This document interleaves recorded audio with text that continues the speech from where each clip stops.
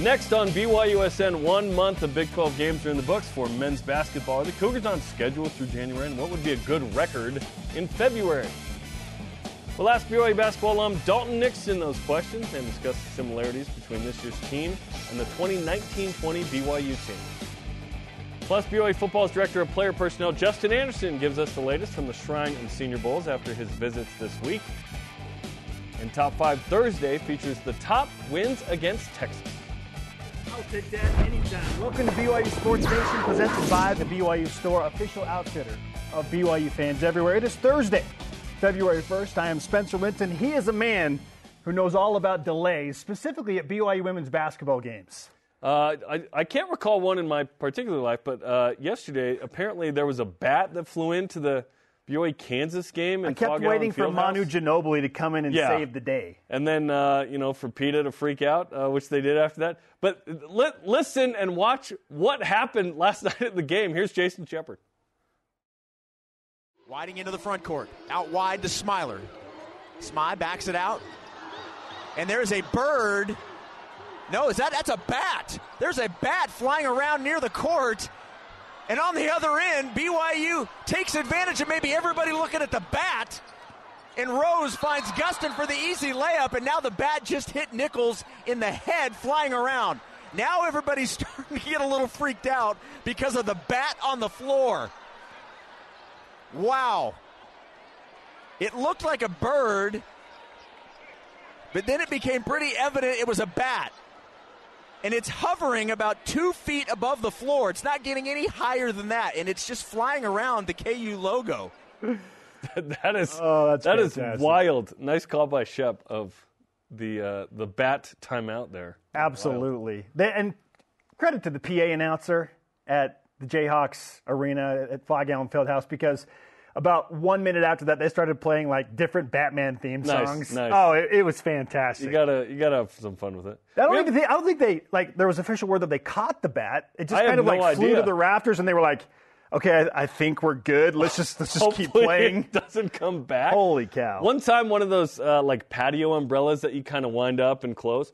I opened mine at like the beginning of Yeah. spring one year, and a bat fell out and then flew away. That's terrifying. Yeah, I was like, did anyone? I went inside like a bat was in the. umbre- They're like, no. I was like, I, I promise. It was crazy. Is it like that episode of The Office where if it touches you, you have to get a rabies shot? Like, is that a requirement? I don't know if that's actual like requirement. I don't know that. I don't know the answer to that. Yeah. On that important note, and with Batman on the mind, all rise and shout. It's time for what's trending. We'll find Khalifa backdoor again. Waterman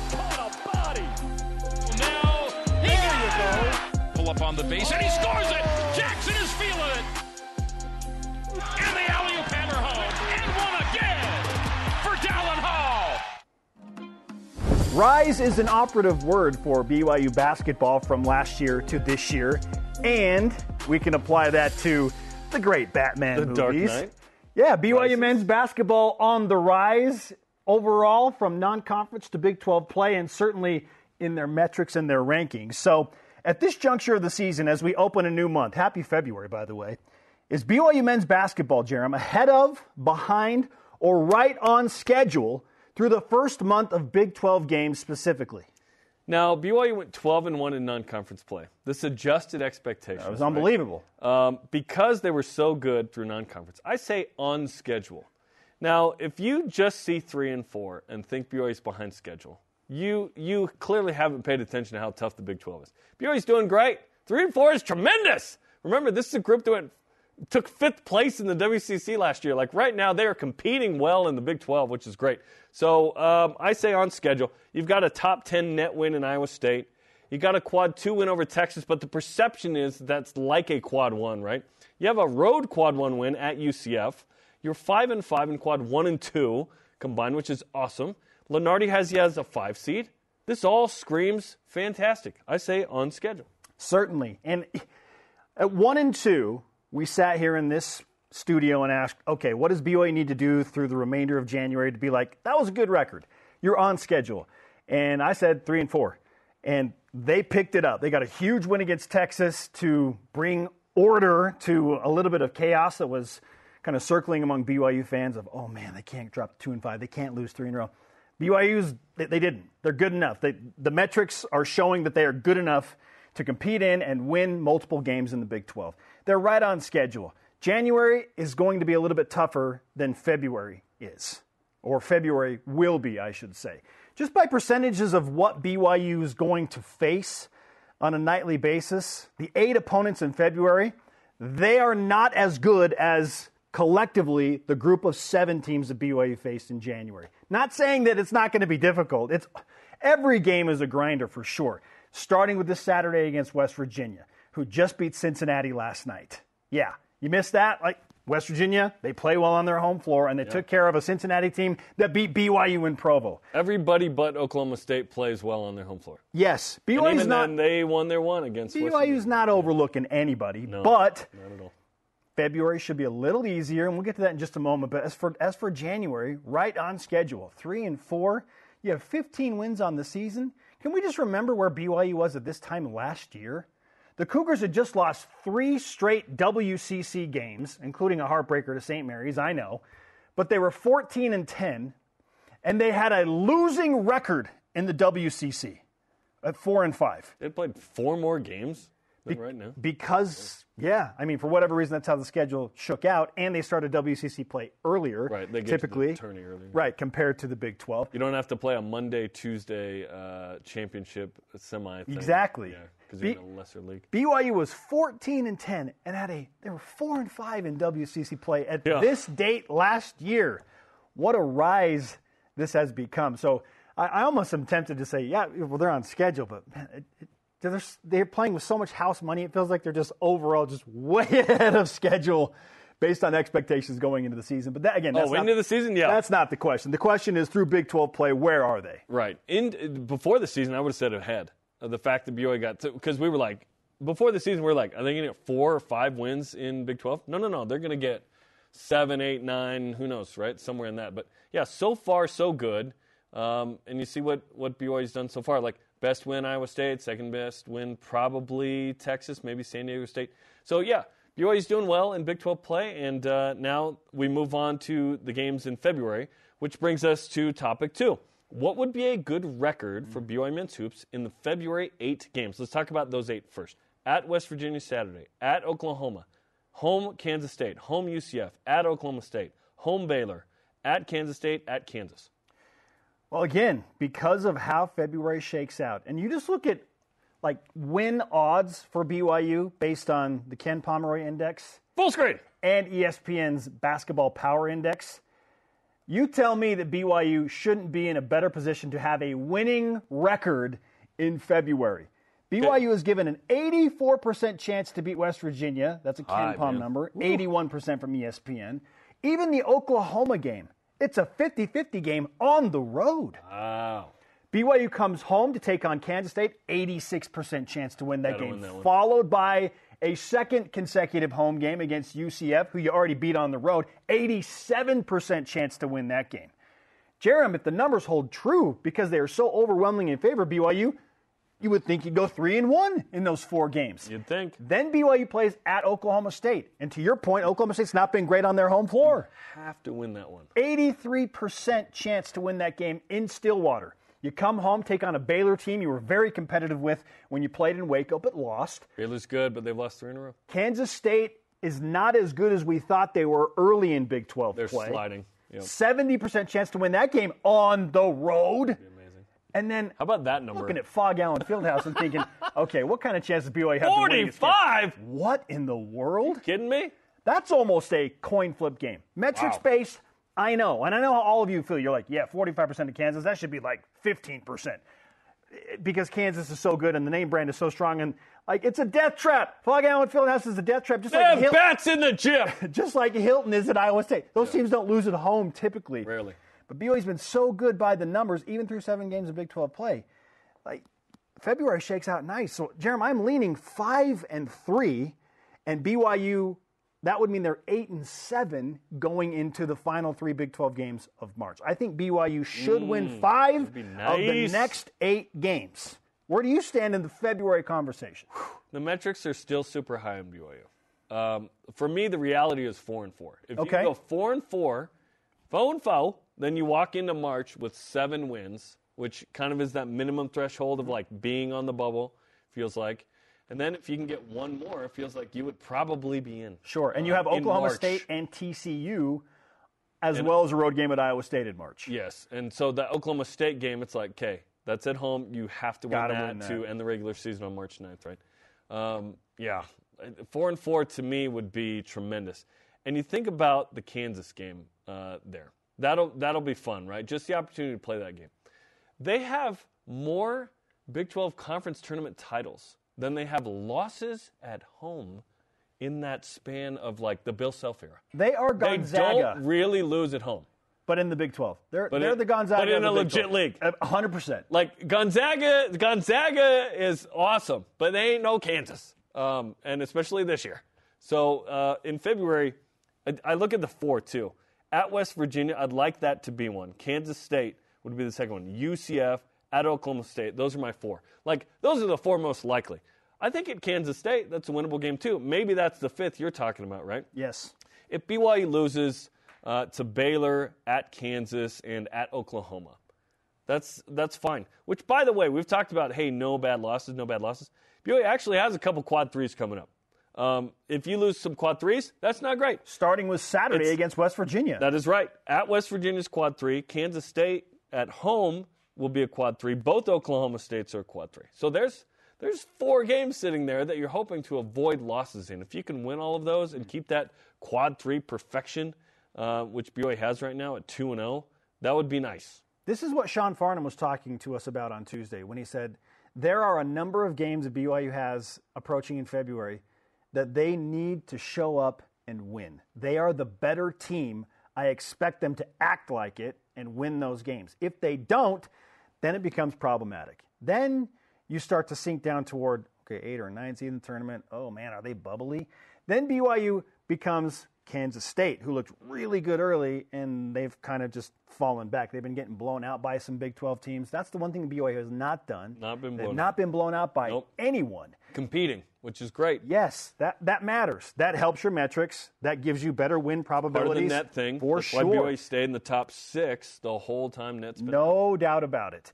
BYU should win four of the next eight. They should.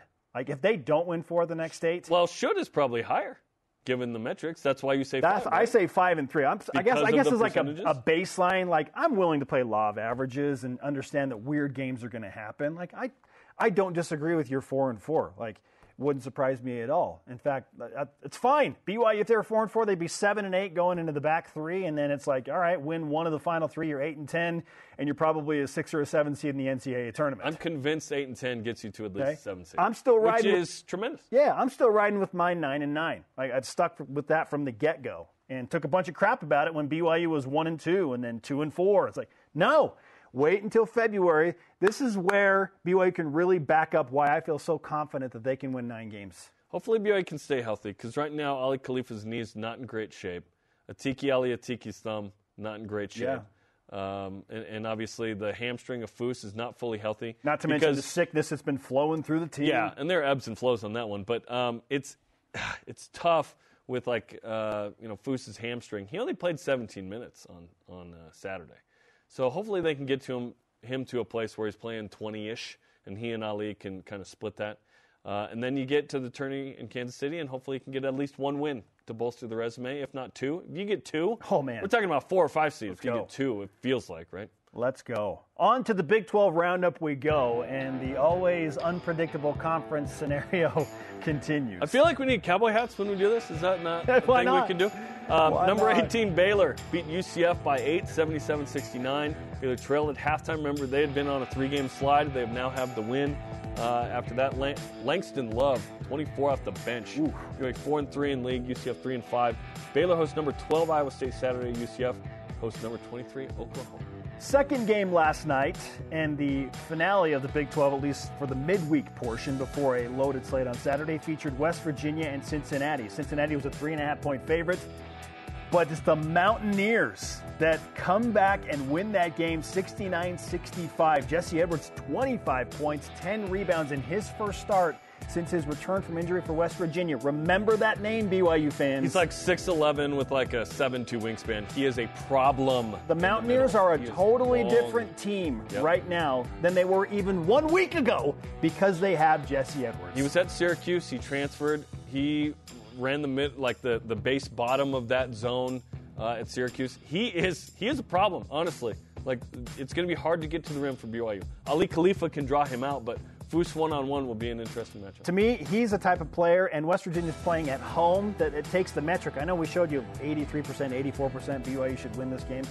It feels like 60%. He's a basketball influencer. 100%. Good gosh. Both West Virginia and Cincinnati, three and five. BYU trying to avoid that same three and five record and put themselves truly in the middle of the pack with a win against the Mountaineers that would take BYU to four and four. Yeah. 22nd ranked Cougars and Mountaineers this Saturday. Cincinnati plays at number 15 Texas Tech on Saturday. You always want to know in the Eastern Time Zone road games in the Big 12. So I don't know what the problem is. at UCF, let's go. I like that stat. Let's take a look at the updated Big 12 standings now. Houston atop where we expect them to be. They're 6 and 2. My goodness, they've rebounded nicely after a couple of unexpected losses early in the season. They're so battle tested. Texas Tech half game back, as is Iowa State, who just beat Kansas not too long ago. The Jayhawks in fourth place, one full game back of Houston. TCU's sneaky TCU. awesome, by the Yes. way. TCU's nationally Like- ranked. Their metrics are good. Yeah. They're playing a good brand of basketball. BYU alone in ninth, which is the first of the the you know Yeah. next next group there. Um, yeah, it'd be, it'd be nice to be on the left side of the the ledger here. Hundred uh, percent, and you you week. can do that. For me, BYU just needs to get a split of the next two road games. Hopefully, Yeah. it's against West Virginia. Avoid- then you see what happens against Oklahoma. Avoid three game losing streaks in any way. I'd love a three game win streak, no no doubt. But if you can avoid a three game losing streak, I think that screams you're going to get a five, six, or seven seed. If BYU's four and four through the first eight, and they're right there with Oklahoma and Kansas State, and just a half game back of Baylor, Right? This is awesome. Yeah, maybe, just maybe, the collective fan base around BYU is like, okay, now now I'm believing. Now I am believing.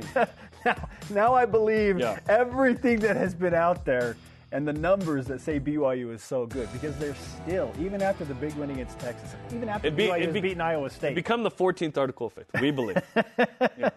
Our question of the day What would be a good record for BYU men's basketball in February? I say 5 and 3. Uh, maybe that's too lofty, but I think BYU is certainly. Eight capable no. Spence. the only acceptable. I don't even know if there's a word to explain what 8 No, no that's that's like we're gonna put you in a mental institute if you say no. Yeah, yeah. Platinum Sorry, level. sorry. Diamond Too much. medallion. Diamond medallion, blue goggles. Too much. Yes. Oh, John Marsh on X says five and three would be a good record. Win all of the home games and grab wins at West Virginia and Oklahoma State. More winnable, right? Maybe you lose one of those, but you grab it at Oklahoma. Who knows? like sure. sometimes that might not be the worst thing. But I would like to avoid quad three losses, and there are a couple potential ones as we Some outlined. There are pitfalls. Four. There, Sitting there are there are four potential pitfalls. Yeah. No quad three losses. Come on. That'd be nice. Hashtag BYUS on X, Facebook, and Instagram to join that conversation. You can almost make up with it kind of with the quad one win though, like at Oklahoma. So pick your poison, I guess. There. Number 22 men's hoops plays at West Virginia, as we mentioned. Huge game. Saturday, you can listen to it starting at 8:30 Eastern on BYU Radio with the pregame. Up next, one of our favorites. It's been a minute. Wait, that time was uh, that time's off on that. But anyway, BYU basketball alum Dalton Nixon joins us in studio. He's got to watch. We'll ask. him. yeah. Is BYU on schedule in his opinion? And who is the Dalton Nixon type player on this year's BYU squad? Yeah. Let's ask the man. This is BYU Sports Nation. I think that's five Eastern. Five Eastern? Yeah. Johnson to the rim, driving and dunk. And oh. Richie Saunders hammers it home with the right hand. Transition Noah. triple, Noah. Got it! Quick pull fire and score. Oh. Foose by himself, and he hammers it home. An excited or laughing Mark Durant Durant's always a good thing. I was gonna say I wish Mark Durant would get excited during the uh, radio break. We are live in Studio B. This is your day-to-day BYU Sports play-by-play alongside Jarom Jordan. I'm Spencer Linton. And we welcome in a guest that we haven't spoken to in the studio in quite a while. He graduated? I didn't. Indeed, he did. It feels like you were just here. Probably, Nixon. you probably graduated with high honors too. Okay, I'm going to bestow that upon you, even if you did. Bestow. Look at you. Dalton Nixon is with us on BYU Sports Nation. Dalton, welcome back. Oh, thanks. It's always good to be back here. it's like you, you look the same. Yeah, you know, been try- working out? Yeah, look try great, and try and stay in shape. You know, you know, active. My wife pushes me a little bit, so it's good though. Have your kids already committed, or your unborn children for that matter, Un- already, unborn, unborn already kids committed to yeah, BYU? we've already got them locked into BYU. So I've already had that conversation with Coach Pope. We're good to go. The Royal Blue Collective has had that convo Yeah. as well. Awesome. For sure. Uh, I think everybody naturally want to know what's uh, what's going on in your life before we get into the, the nitty gritty of BYU basketball. What what's the latest in your personal life? Yeah, so I mean, as soon as I finished up a few years ago, um, jumped into coaching and, and running youth basketball, you know, with the club side. And so, you know, we have a handful of teams that we're running here in Utah County. And, you know, being able to coach and, and be in the gym with, with younger kids has been a big blessing in my life. And it's been, a, it's been awesome to be able to see this, you know, turn into something that I can do full time. So I really enjoy it, staying around the game, you know, obviously staying still close to BYU and seeing what they're doing. But life's good, so I can't complain. With who your parents are, coaching is just perfect. It was meant- ju- it was meant for me. It, It was- just is. yes. It's awesome. Okay, BYU's in the Big 12, man. This has been such a fun journey because BYU's competing well. They're playing big time games. What's it been like to watch BYU enter this new era? Uh, I mean, first off, I'm really jealous. you know, it, it's really cool to see them, you know, do so well in the Big 12, to see the high expectations, to see all of the pieces come together. You know, um, when we were in the WCC, losing games, it just felt like, you know, it was the end of the world, Yes. right? That's why, that's how it felt. That's what the expectations were for, for the fans. If you lost to someone that wasn't called St. Mary's or Gonzaga, it was, you know, doomsday. But I think where they're at right now is they've grown so much here in the Big 12, and they're just going to continue to get better and better. And they've proven that they can play with anyone. We've been talking about if through the first seven games of Big 12 play, BYU is on schedule. And the schedule seemingly lightens up. And I mean, I say that so hesitantly, but it lightens up You see some triple digit net rankings. by, by the metrics Finally. in February. But they're three and four. So are, are they on schedule? Are they ahead of schedule? Or do you think they're a little behind schedule with that losing mark in Big 12 play?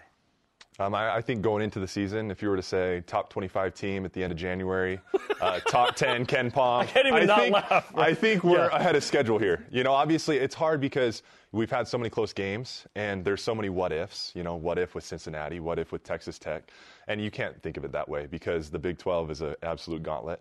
And so I think we're ahead of schedule. I think we're in a great spot resume wise for the tournament, which is obviously you want to continue to build that resume because that's the that's the goal is to make to the tournament, advance to the second weekend, and this is a team that I think Sure. can do Now, it. Jerm, maybe you maybe you agree with me. I don't. I don't know if we've had this conversation, but typically, have it now. Let's do it. Typically, like just the way basketball is, and at BYU, there will be some wins on the schedule where you're like, didn't expect that, and then there will be a loss where we're like, oh man, I didn't expect that. To me, it's the Cincinnati loss, That's un- that was unexpected. and then the Iowa State win, and not even not only that, but how they did it. Yes, I, I agree with that because Iowa State uh, is net 10 still. That's the best win of the season. Uh, what, what's the best one of the season to you, Dom? I mean, I got to say, yeah, I, I think Iowa State. You know, I, I think what's crazy is you watch these games and it, it's the way that they did it. It's the way they did it against Texas, the way they did it against Iowa State. And I think that you know that we just we cause a lot of problems for teams, and to be able to do that against a really good defensive team like Iowa State, I think that was the statement win, win of the year. And BYU in both those games was really efficient with uh, fouls and free throws. This is something we've been watching. It's hard not to foul in a physical, athletic league like this, and it's hard to get to the free throw line. But we saw in both those games a different way to win. It wasn't well. Hopefully, we just make a bunch of threes. Listen, any any pathetic team could just walk into a game and go, "Well, hopefully, we make a bunch of threes. BYU's much more skilled than that. What? How many versions of BYU do you feel like they have to where okay, they're not relying on this one way to win? Yeah, so I, I think the three point line is going to be our bread and butter, obviously. We're going to shoot it at a high level. We have really skilled guys that can space the floor, which is just causing so many problems for teams. We're unlike any other team in the Big 12, which I think is one of our biggest strengths.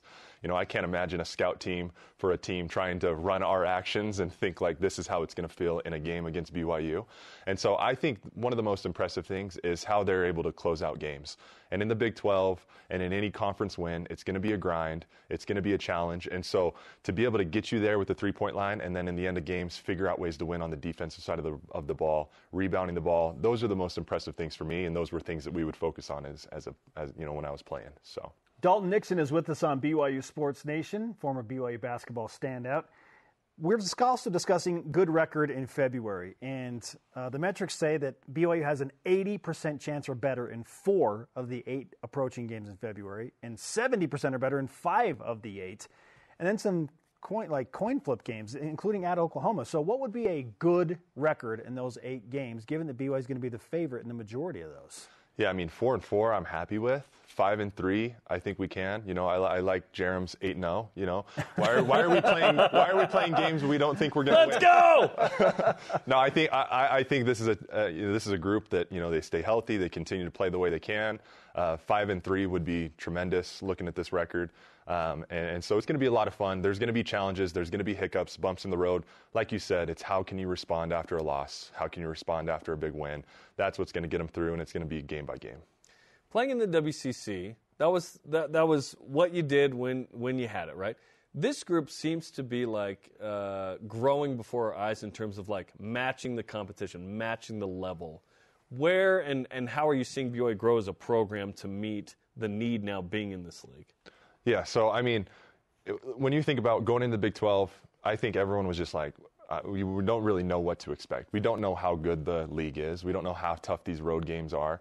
Um, for us to be able to be where we're at right now in January, I think that we've grown so much in a, in a month. And it's like, how, you know, where can we be in another month? And I think that just has to be from game to game. You're going to see these kids grow.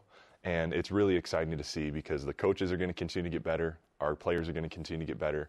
And so I just think we're in a really good spot to do some damage towards the back half of this conference. It's wild because BYU is one player that's getting any kind of draft buzz. There's no, I don't know that there's a first team all conference guy on the team, maybe not even a sec. It is a great team. And you're seeing Dallin Hall, super young still. We just assume he's this been there guy. It's the middle of his sophomore year. Like, it, it's fun to see these guys grow together and uh, compete really high.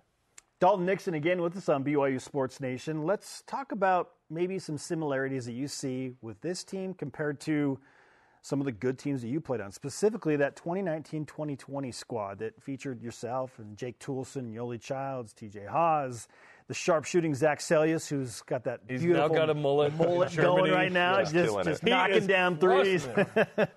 so, what similarities do you see between your team and this year's BYU basketball team? So I think offensively, it's a similar team where they have really skilled players. Um, the space, there's so much space on the floor. You just see that. They just cause so many problems for teams because you've got five guys that can shoot the ball. You got five guys that can dribble, pass, and shoot. And I think that's what was, was similar to our team, even though we were probably a little bit more undersized. Um, one of the things that I think that I'm jealous of is, you know, our team was experienced. We were older.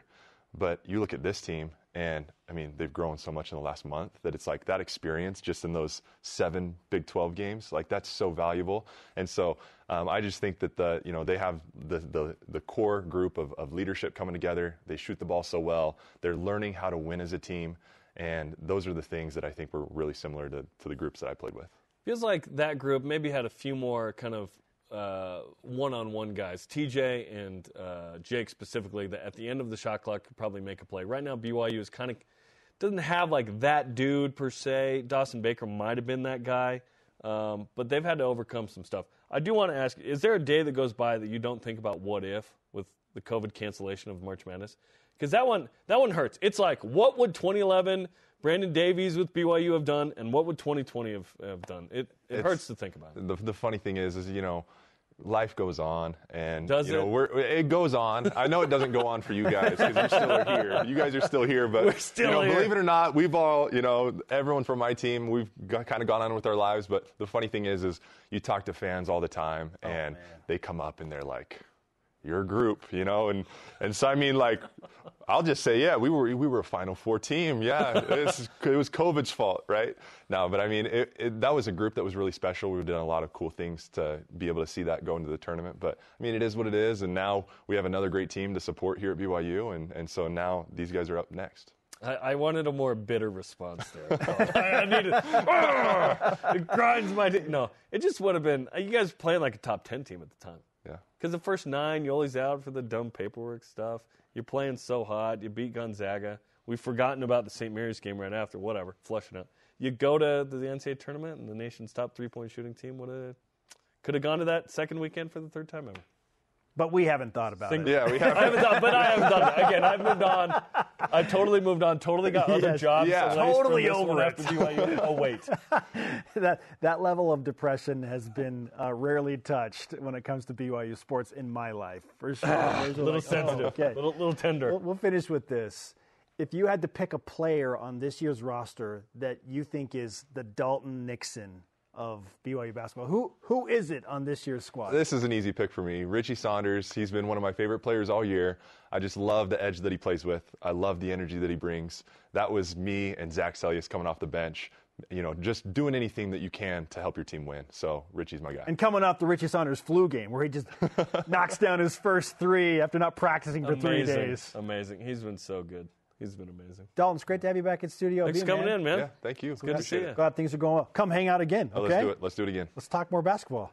Okay, check out BYU basketball with Mark Pope. Trey Stewart's the guest. Coming up tonight, 8:30 Eastern on the BYU TV app. I'm in the film room with Noah Waterman. After the break, we've discussed men's basketball at length and how they graded out in January and projections for February. But what about the women's team? What do we think? Same questions asked about the women's team. Stay with us.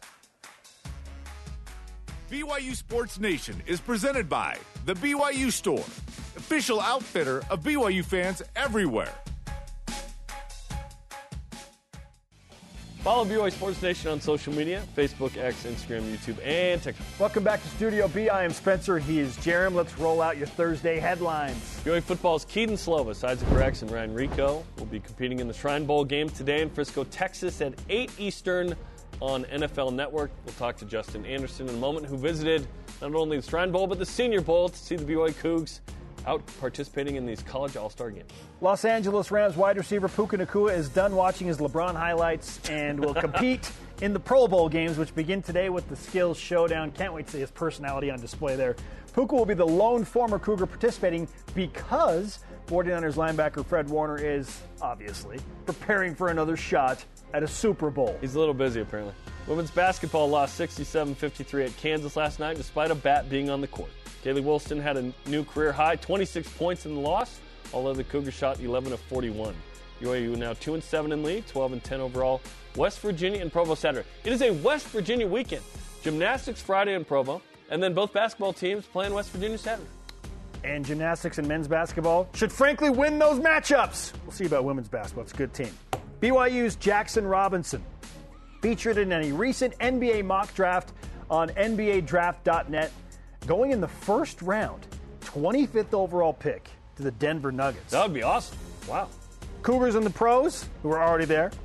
Zac Seljaas, talked about him with Dalton Nixon. Dude. He and the mullet scored 21 points on 7 of 11 shooting from the three point line, had 9 rebounds for the Würzburg Baskets in Germany. Yoeli Childs averaged 11 points and 6 rebounds over his last three games this week for the Saga Ballooners in Japan. What's the mascot? I got some questions there. Brandon Davies averaged 13 points and five rebounds over two games this week for Valencia Basket in Spain, still doing his thing at a very high level in EuroLeague. Matt Haarms, remember him? Scored 13 points, six rebounds for Zunder Palencia, also in Spain. And Brandon Averette with 23 points for the Etoile Angers in France. Let's go. Softball's Violet Zavodnik and Hunter Ava were featured in two preseason player rankings. Zavodnik was ranked the 74th best player in America, 18th best outfielder in the country by Softball America, and Ava was ranked as the 13th best corner infielder by D1 Softball. And BYU men's and women's swim and dive both competing in the Air Force Invitational beginning today and going through, competing at Air Force rather, beginning today and running through the weekend. Good luck to those BYU teams. Those are today's headlines. Now, some opinions in the whip. The Cougar Whip Round presented by Maersk, your e commerce logistics shipping partner. Is women's hoops ahead, but behind, or on schedule through the first month of Big 12 play?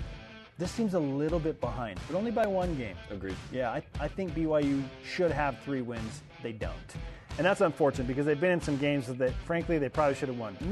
The one at Kansas State just crushes me because Kansas State lost to Oklahoma last night. It would have been something if BYU could have been the team to hand them their first. They were beatable. Yeah, for sure. One game behind schedule.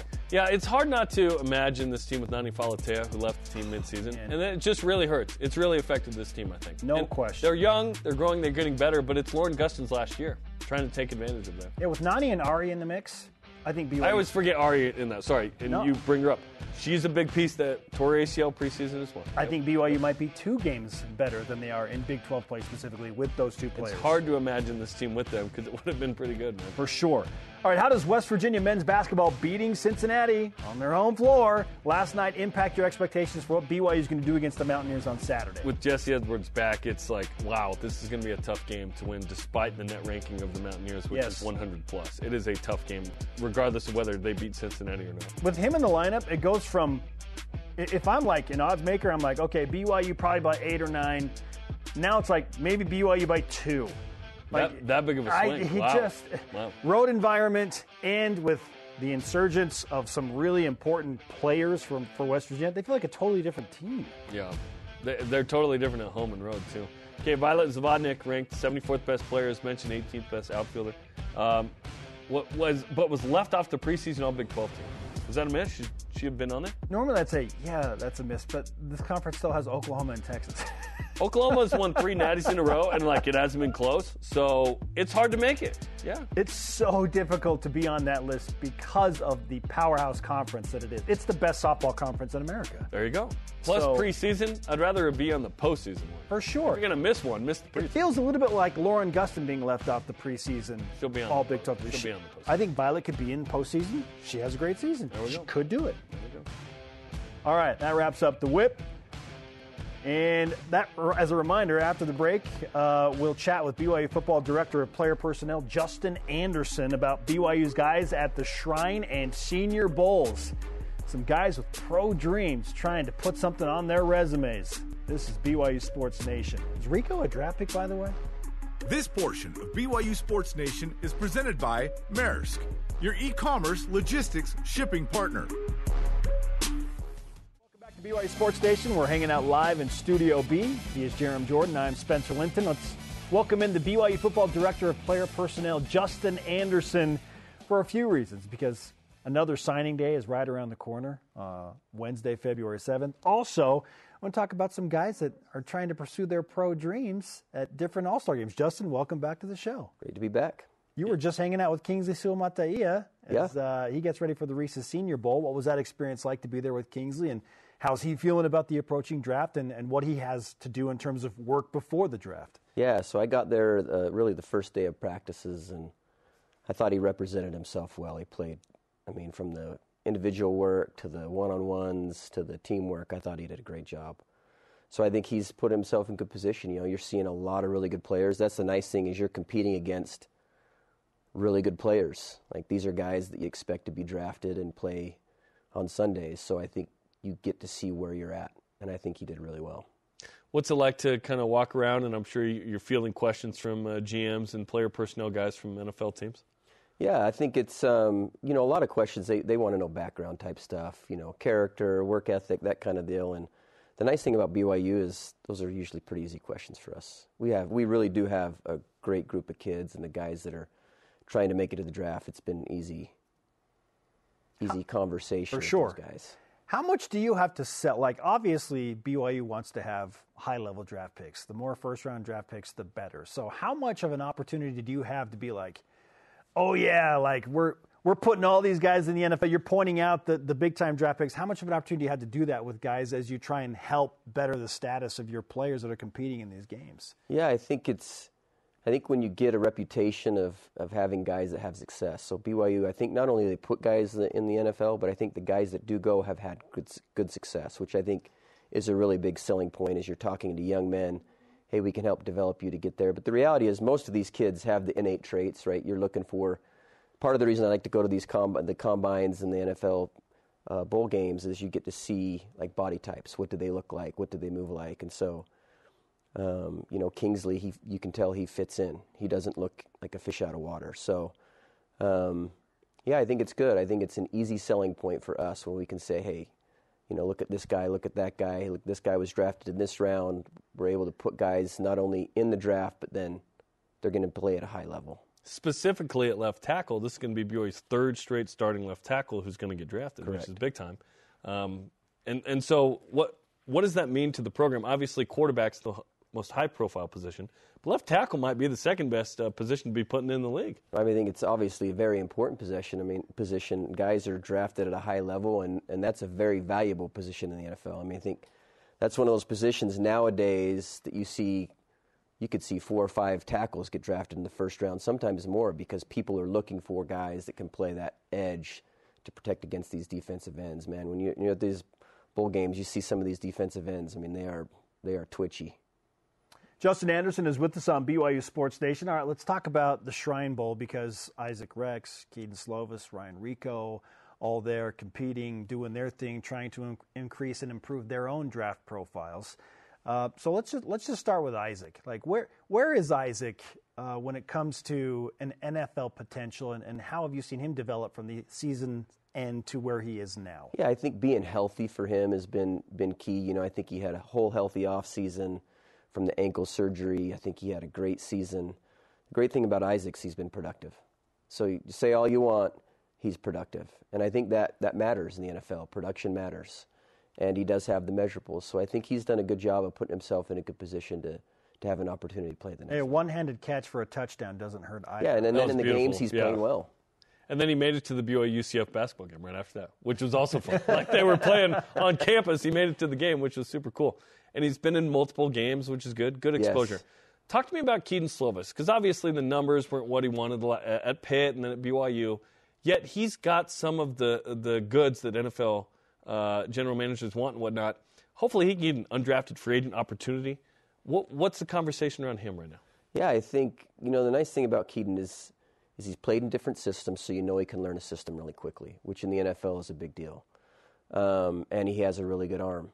And in the NFL, those things matter a lot, a lot more than people I think realize. Is this ability to throw the ball at a high level and arm strength, and he has those those tools. So I think he's done a good job, and he's a really good kid. He's got good character. He showed some leadership for us, and those those things at that position are really important to be able to show leadership. Now that we're done with the season, we're looking back on Kedon Slovis's BYU days.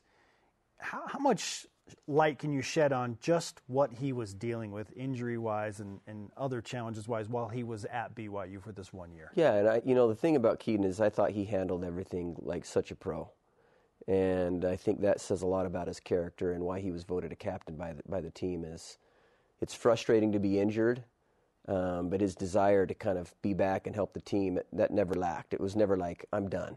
It was like what can I do to get back? And so he worked to get back the best that he could, and it just unfortunately didn't work out to where he was, but he's healthy now and he's throwing. He's in these, you know, the bowl game and having a chance to show himself. And then we'll have the pro day coming up, the Big 12 pro day, where these guys are going to have a chance to do that again. So every little opportunity to present yourself to these guys is important. And I think our guys are doing a great job. The ones that have had a chance so far are representing themselves very well. It's hard to make it as a specialist, but Ryan Rehkow's got a real shot here. Yeah, he really does. I mean, he's got a big leg. He's a big kid. And, um, you know, that punter and kicker is always hard because those guys last forever in the league. So, it, so some of it is timing. You, are you coming out at the right time? And I, I feel like he's, if there's a team that needs a punter, if they take him, they won't regret it because he has an NFL leg. We need a BYU guy in the league, specifically at punter, just so Pat McAfee has like a direct source to not only BYU, but like a punter from BYU. Yes. Right. That's right. He needs more BYU content, if you know what I mean. He needs different content. Yes, he does. Our friend Ryan Smith said as much. It's Yeah. time for new content. Maybe that's Ryan Rehkow as a punter Yes. with BYU. Signing days next Wednesday, and we see the writing on the wall. December is the big day now. It just it's be, like that's become the real signing day. But technically, the first Wednesday in February is also signing day. Yeah. So, what can you tell us about what to expect uh, a week from now? Will will there be any surprises or, or some you know some things that are off the radar that we'll find out next? I mean, I think we'll have we'll we'll sign a few few more guys. Likely, it won't be very big, um, but I think they're really key pieces and re- and very good players. So I think it'll be exciting to add to our group because I feel like our coaches did a really good job of targeting the right guys that we're looking for to build the roster. And um, yeah, I'm excited about the group of guys that have signed and the, the few guys that will sign now. And you know, you'll always be because of the changing world. If guys leave, you got to be looking for transfer portal positions. So we'll always be kind of watching that to see what pops up. If there's a guy that can really help your team, then you always go that. But th- you know, this year we did not get into that quite as much. We didn't need we didn't need to. Yeah, and you're saying perhaps post spring if a need arises? Yeah. Gotcha. You feel better about the BYU's relationship with the transfer portal this year overall? Yeah, I think you know it's like it's such a changing dynamic because you got to fill needs, and sometimes if you really need a guy to step in and play right away, it's tough sometimes to go to that high school route, and that's where the transfer portal kind of is needed. And last year we we lost a lot of guys, so we kind of needed to jump into that. The nice thing is we got some guys with multiple years that were in the portal, mm-hmm. Which ideally I think you want to do because then you can kind of build some continuity and stuff like that. So I think we've done that, and I think I feel really good about the roster we've got coming back. All right, I, have to ask this. It's totally unrelated to anything we've been talking about, but you're a speedster. You still work out a ton. Okay, how many guys have you lined up and raced on the the 120 guys of the 120 uh, guys that are BYU football I players could right beat a few of them. How, many, linemen could you be, Justin? if I can't beat our linemen, I probably am. I'm in trouble. I, I know I can beat our linemen. That's for sure. You're still sub 540. Let's go. Yeah, I can get. I can get below five seconds for sure. Let's go. Yeah. I, kn- I knew a guy one time that claimed he could. I, I but claimed, did not. claimed he could, but he did not. I've, I've seen that clip before. Yeah. Uh, we need to. You need to. You need to, do, to, to give me the speed training. Okay. I, I, I need hey, you Doc, to Dr. help Maine, me. Dr. Doc Maine's got you. Got you. Best mustache in the game. Let's go. Uh, thanks, Justin. Great to Thanks, talk to Justin. you. Good to see you, man. Okay, gymnastics taking on West Virginia. First home Big 12 meet in the history of Cougar gymnastics. Coming up tomorrow night, 9 Eastern on Big 12 Now on ESPN. Love it at the Marriott Center. Up next, we'll wrap up today's show with the top five wins over Texas all time at BYU on the heels of another big win against the Longhorns. Did Saturday's win make the cut? This is BYU Sports Nation. Horns inverted, is that what you said? BYU Sports Nation is presented by The BYU Store, official outfitter of BYU fans everywhere. Welcome back to BYU Sports Nation. It's time for Top 5 Tuesday, featuring the top five BYU wins over Texas all time, which make the cut across all sports. Jarom, start us off. We go way back for number five to Saturday. BYU men's basketball win over Texas 82 or 84 72. Fu 16 points in 17 minutes. BYU shot 64% from the field.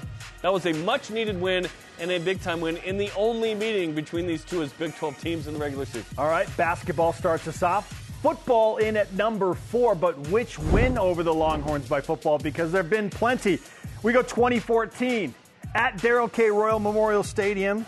The Longhorns were ranked 25th in the country. Not for long. Then the Taysom leap happened. Taysom Hill led BYU with 280 yards of total offense, three rushing touchdowns, and that iconic highlight BYU destroys Texas 41 7. Adam Hine was amazing in that game. Number three, women's volleyball 2018. Elite Eight, four seed BYU hosting five seed Texas in the Smith Fieldhouse, second largest crowd in program history. It's today. one of my best memories there. So good. Roni Jones Perry, 25 kills. Copper Hills represent. BYU swept the Longhorns to go to the Final Four. Number two, back to football. This time BYU hosting Texas. And we'll call this the Manny Diaz game. Taysom Hill runs for 259 yards 259. and three touchdowns. Jamaal was 182. BYU upsets the 15th ranked Longhorns 40 to 21. BYU ran for a school record 550 yards that night. Paul Lasike, Kyle Kyle, Van Noy. There were so many NFL players in that game. It was awesome. Number one, women's volleyball 2014 in the Final Yes. Four. BYU's unseeded, taking down two seed overall Texas to advance to the national championship game. Jennifer Hamson, and Alexa Gray combined for 41 kills. BYU won in four sets, and that mustache of Sean Oh, it's so good. Was so, it's good. so yeah. great to see smiling Sean Olmstead with that stash. Bring it back, Sean, at some point. Oh, fantastic. On to our question of the day. What would be a good record for BYU men's basketball in the month of February? Our elite voice of the day from Grizzfather on X, who says the schedule was supposedly easier, yet we see night in and night out there aren't many gimme wins. So I'd say five and three. I agree with you, Grizzfather. Would Okay. be a good month. Got to go at least four and four, which is what Jarom said. And anything above five and three is a bonus and would make it a really good month. That'd be awesome. In response, again, that was our Elite Voice Day presented by PAX Healthcare Elevated. Now, today's Rise and Shout Out presented by Mountain America, the official credit union of BYU Athletics. Yeah, the uh, Shrine guys, the East West Shrine game, uh, big time opportunity for BYU guys on NFL Network tonight at 8 Eastern to showcase themselves. Kedon Slovis, Isaac Rex, Ryan Rehkow. Uh, get it done tonight. Get yourself on the map a little bit and let's see what they can't do in NFL camps. Can Puka win the uh, skills competition too? Oh yeah, and that. The dream season continues. Honestly, that's interesting. I won't be watching that much. I'll watch the highlights on Twitter. He tweeted out, "Let me fanboy for a minute." He was talking about being around all these great players Yes. at the Pro Bowl. That'll be fun. You, Pookie, you can fanboy all you want, man. I'm working for the Sixers tonight. I'm going to be busy, Oh. but uh, all good. Say hi to Joel Embiid for He's me, not playing. He's not even gonna be there. playing. Uh, thanks to today's guest, Dalton Nixon and Aus, or Justin Anderson. Sorry, Dennis. For Jeremy, I'm Spencer. Shout out to Kevin Nixon. We'll see you tomorrow for BYU Sports Nation. Go Cougs. Whether you're planning a simple backyard party or a large event, Diamond Event and Tent has exactly what you need. From tables, chairs, and linens to tents, dance floors, and stages, Diamond has an amazing inventory to choose from and a professional staff that will help you pull it all together. Diamond Event and Tent serves the entire Wasatch Front, and you can either pick up your party rental items or have them delivered. Visit diamondevent.com.